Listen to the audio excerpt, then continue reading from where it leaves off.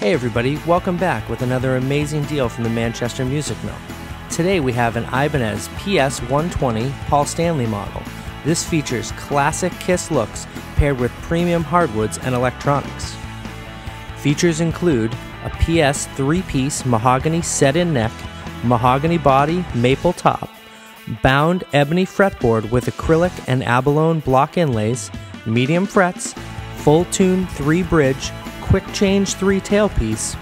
The neck pickup is a Seymour Duncan 59 model, and the bridge pickup is a Seymour Duncan Custom 5. Both are passive Alnico pickups.